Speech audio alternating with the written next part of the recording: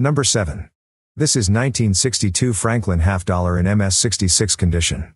Comes with full bell lines. According to Heritage Auctions, the Franklin half dollar might have gone on for many years past 1962, but the year turned out to be the penultimate one for the design as the denomination was chosen to memorialize the assassinated John F. Kennedy. This uncommonly well-struck premium gem with full bell lines has understated yet colorful patina ranging from powder blue to rose violet over vibrantly lustrous surfaces.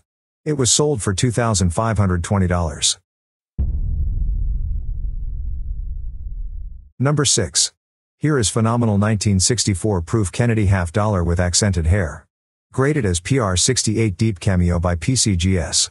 According to Stack's Bowers, of the 3,950,762 proofs that the Philadelphia Mint struck for the first year 1964 Kennedy half dollar, Rick Tomaska, a guidebook of Franklin and Kennedy half dollars, 2018, estimates that only about 100,000 coins are of the accented hair variety.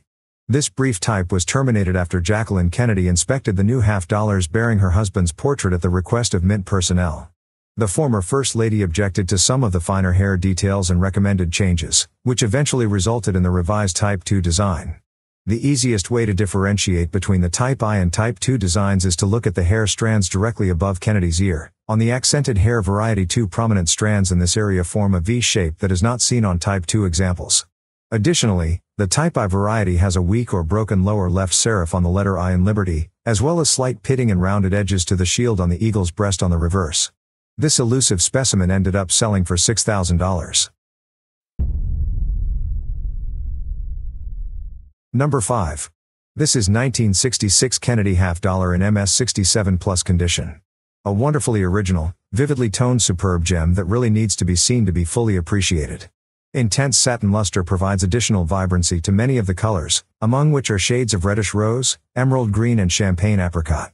Thoroughly appealing in a Kennedy half dollar, and sure to be of keen interest to series specialists and toning enthusiasts alike. It was sold for $9,400. Number 4. This is 1973 D Kennedy half dollar struck over 1972 D Washington quarter. An error coin with MS67 grade from NGC. A dramatic 75 cent double denomination error. The head and wings of the eagle from the half dollar overlap Washington's portrait. Similarly, the head and wings of the eagle from the quarter emerge near Kennedy's ear. The half dollar mint mark is bold. The half dollar date is partial, but the upper curl of the three is present. The quarter date is readable near 6 o'clock on the half dollar reverse, and the quarter mint mark is apparent near the reverse rim at 430. It was sold for $11,750. Number 3.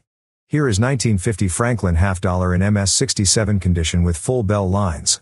According to Heritage, no mint sets were issued for the year 1950, resulting in few attractively toned half dollars in the upper reaches of mint state condition.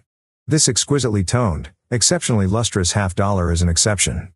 A superb gem in every sense of the words, the smooth, unmarked surfaces are vividly toned in circular bands of multicolored iridescence.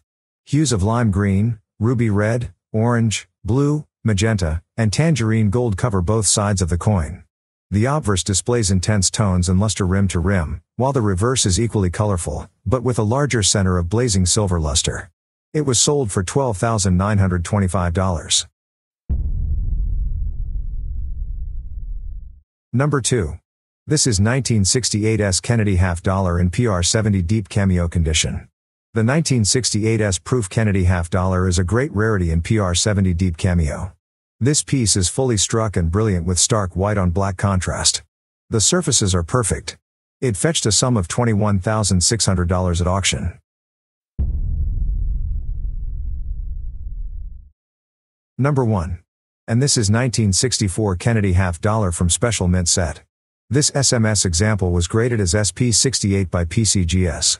Stunningly rich and original velvety smooth surfaces are blessed with an almost brushed nickel gray color that serves to accentuate the bold strike and strongly incised features of the design, all of which serve to make these very special coins stand out from even proof 1964 Kennedy half dollars.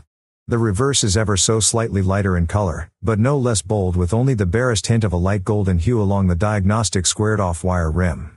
Thoroughly impressive and enchanting in every regard and a true wonder to behold. It ended up selling for $156,000. Thanks for watching this video. Consider subscribing to our channel for more captivating numismatic content. Have a good one.